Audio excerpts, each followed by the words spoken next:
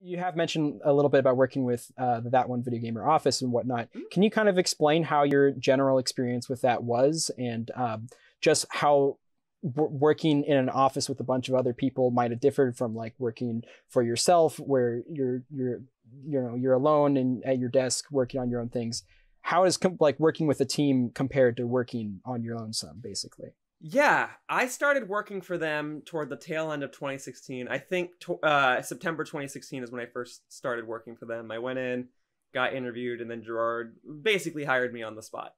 And then uh, from there, I treated it similar to a nine to five job, although it was more like 10 to 6. And when I was first working there, it I, I didn't leave the office until my work was done, and they had to keep telling me to go home. Uh, sure. and I, I get it. Legally i have to go home but i wanted to make sure my work was done. So I, I did get in fights with them a lot saying like do you want this video done or not? type of deal. So that that posed a problem. But aside from that like I, let's just get the problems out of the way first. Uh, I, I did enjoy my time at the office. Everyone everyone's a team. There there there is no revenge trying to get back at someone trying Sure. to mess someone up. You're all a team. You're all trying to do your best to get the videos out and we there were a lot of different projects that went on at the office. So Gerard has his completionist show, but then he also does Super Beard Brothers, his Let's Play channel. So some sometimes there's overlap, but more often than not, uh, different people were working on different projects all the time. And there were a few other creators at the office too. So there was also Jesse Cox. Uh, for a time, there was Press Heart to continue, but she she moved out uh, while I was working there, and then her husband Strippin was upstairs when Press Heart to Continue moved out, Barry, also known as Razadoop, uh, occupied that office. Then uh, there were there were a few different people. There was Toaster Ghost. There was Octopimp. Uh, yeah, uh, attacking toucans. There were there were a lot of different people there, and all this to say, we interacted like they'd come out and have like a water break or something from whatever Sure. work they were doing, but we didn't really do much with them. They just kind of rented the office Right. Or their, their office spaces. So most of the time I was working with my team and we, we did have our outings. Like we'd go, we went and saw Avengers Infinity War together. We'd occasionally go out and grab Korean barbecue together. So th- those types of things are nice. Those, those, Sure. those group outings, those group hangouts, uh, or those nights. We didn't, we didn't really do them more recently, but there were nights where we'd, we'd stay late trying to get a video out. Gerard's still completing it, therefore someone's still editing it, and you know maybe one uh, myself or one or two other people in the office are like keeping him company or even trying to help him. I remember Sure. Pokemon Let's Go came down to the wire. We just had like a spreadsheet, and Gerard's completing one game, and I'm like leveling up Pokemon in another game and stuff like that. It kind of had a a brothers in arms feel. Yeah, way. so I I live for those moments. For as unhealthy as those late nights much would have been, and how we, the only thing open was McDonald's, so we'd go and do a Sure. McDonald's run or something. Uh, I I th- those are some of my favorite memories at the company. Uh, I I do admit uh there are benefits to working from home. Sure. I work from home now. I suspect most people do. Uh, but subconsciously, the idea of going to an office, working on stuff, and making sure the work was done before I left better kept me on schedule.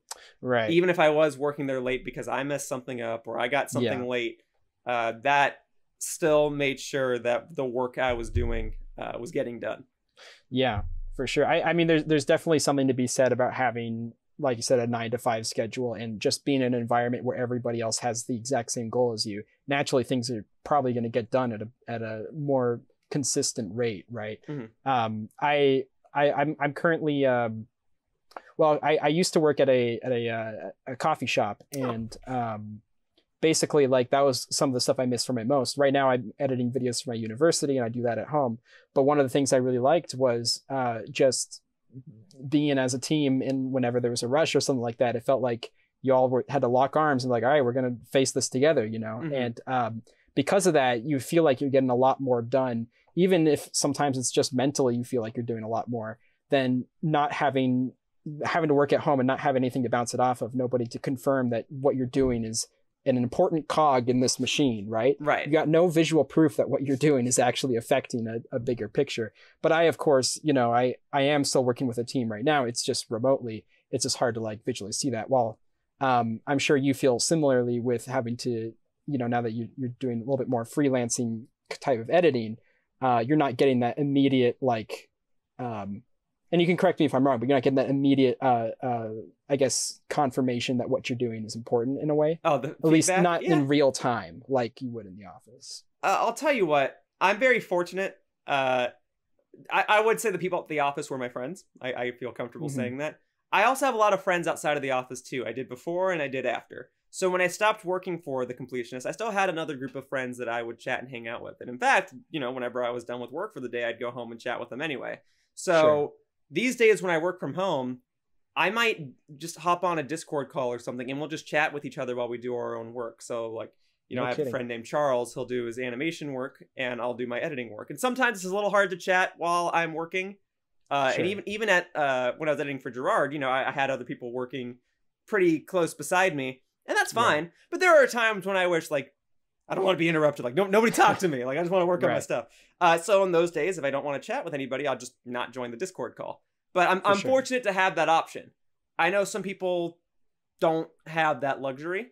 Yeah. So I can't exactly tell how frustrating it would be to not have some sort of social interactivity throughout the day. I know that's that's Sure. probably driving a lot of people crazy right now. But yeah. but for me, definitely. m- my friends and my my groups are are very loyal and kind and uh, honest. so in a way, do you guys think you keep each other accountable? Yeah. Like, because you're working at the same time. you know, we worry for each other's health. Uh, Gotcha. you know, my, my friends have blatantly told me like, "Br- Bradley, I think, I think you've taken on too much work, and I'm like, I wanted this. I wanted to have a big plate. I'd rather have too much food than too little food. And they're like, okay, just make sure to rest, type of thing. And then in other cases, you know, we'll have other friends who, uh, we'll have one or two friends that do still go out and go to a place to work, and they'll come home and they'll tell us their stories for the day, and we all sit back and Right. listen and laugh. So it's I, I- I'm I'm fortunate though, and e- even before um I had to I had to move within the past couple of months, but before I moved, uh, I had roommates, and Okay. that worked out right when the when the pandemic started and right when we were told to stay at home. Uh, we we were pretty like determined to do that. We we stayed Sure. home.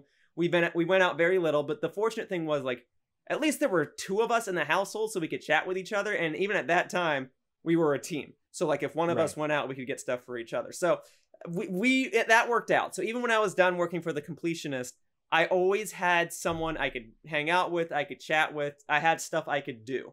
right. I do still like the idea of going to a remote location and working on stuff, yeah. but I'd be lying if I said the luxury of working from home uh wasn't nice. I, I yeah, like being able to work on my stuff. It just feels weird that my office is also my bedroom. You know, it feels Sure. weird to literally roll out of the bed and go straight to the computer. Like yeah. that that messes me up a bit. So sometimes I try to do things where I'll you got to make sure I have breakfast, got to make sure I, I get up and stretch every so often just to Right. try to to have some kind like of work. routine to normalize it. yeah. Uh, so it, working from home, it makes it harder to know when to start the day and when to end the day. Yeah. And I'll I'll easily work until two three in the morning just to get stuff done, and then sleep until like ten in the morning. Like okay, let's do it all again. Yeah. So I don't know, but it, it I don't have the best experience about what the difference is between working from home or working in an office because I've been very fortunate both ways.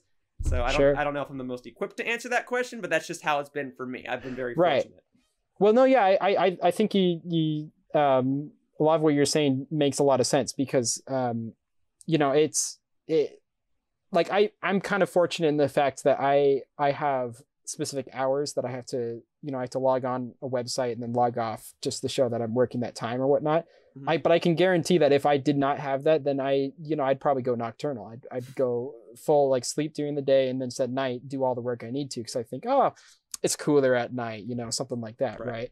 right? Um, but yeah, I, I think, I think I went through a little bit of a, uh, a culture shock, if you will, Mhm. going from like working at an, uh, working somewhere to working at home. And I feel like I'm going to go through like the same thing when stuff starts reverting and I go back to an office or whatnot.